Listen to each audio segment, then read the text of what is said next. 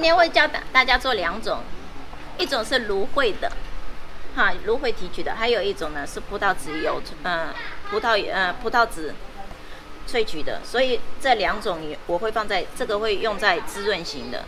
芦荟会用在清爽型的，所以会做两款，一个清爽型，一个滋润型，两个乳霜。电动的我开到最慢，按住。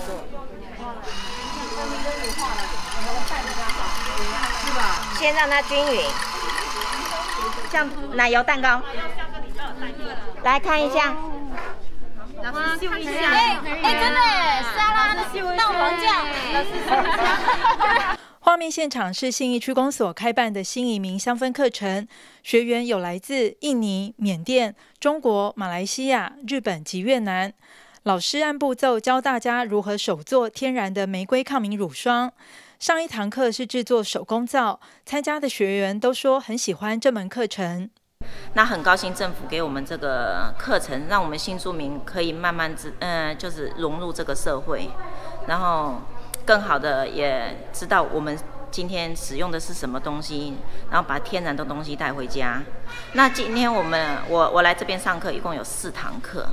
那上一堂课我们教手工皂，那今天是第二堂课，第二堂课是教那个如何制作面霜。那我有教两个，一个是滋润的，一个清爽的。那所有的面霜也都是用油下去打的，然后天然的那个材料下去提炼去做的。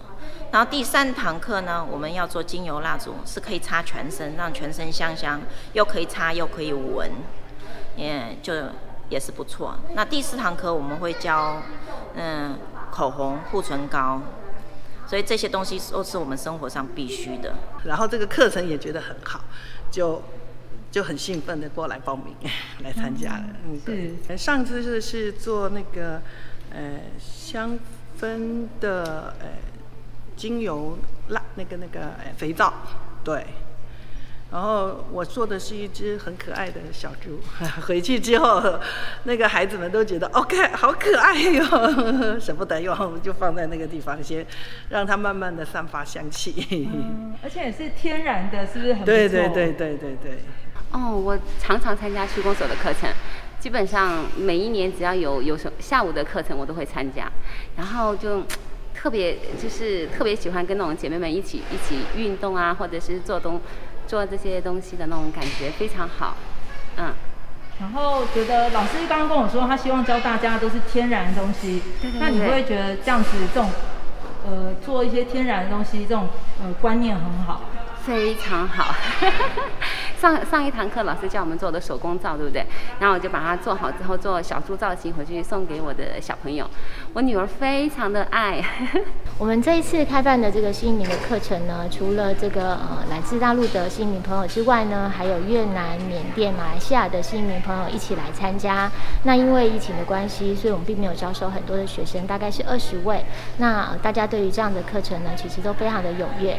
那我们希望呢，大家。在这个课程上面呢，能够学到很好的这个知识，尤其手工皂很多这个天然的这个呃用品的部分呢，希望大家能够有所了解。那在平常生活上面呢，就可以多加的运用。指导老师说自己当初也是因为参加新移民课程而投入了香氛的世界，进而让他有动力再去进修上课。他把握也感谢每个学习的机会，因为我在几年前也是因为我是新住民。几年前我就加入了这个学习课程，那因为我学了过后，我觉得很好，这个课程真的很好，因为政府让我找到我的兴趣，然后我又去大学去进修了一下，所以我也去考了个证照，然后所以我现在也能有师资的证照来教大家，那我就把自己学的经验也好，自己在家就是研究的，然后给让大家可以更好的去发挥。那我也是希望政府能，嗯，更好的发扬我们这个特能 特，真的很很棒的课程。是，大家会不会也觉得说，透过老师的教导，可以再传递给更多的新住民朋友，然后让他们也是将来或许可以透过这个兴趣去开工作室？可以，对，可以创业小小的工作室啊，摆个摊啊什么。那也可以呢，就是跟我一样，因为我喜欢研究，我每天晚上都会研究到半夜。那我就觉得，哎，我可以研究这个那个这个那个，我就知道啊，原来外面买的东西，有的东西是这么的。不如我们自己手做的。像信义区公所之前有开办那个画画课，我们就觉得哇，好棒好棒哦。然后就是呃，我们所画的画，老师也会带着我们去展出，有没有？就非常好。那像信义区公所还有开办那个英语课程，我们也交到了很多的朋友。然后还有一些亲子的课程也非常的棒。呃，我们这个新移民的课程部分呢，除了这次的香氛班之外呢，我们另外也有开这个心理健康的这个课程。那另外呢，也会再开美甲班等等。那希望各式各样的课课程呢，能够吸引更多的新移民朋友们一起来学习。新移区公所也欢迎新移民朋友多参加各项课程，透过多元的学习，丰富在台湾的生活。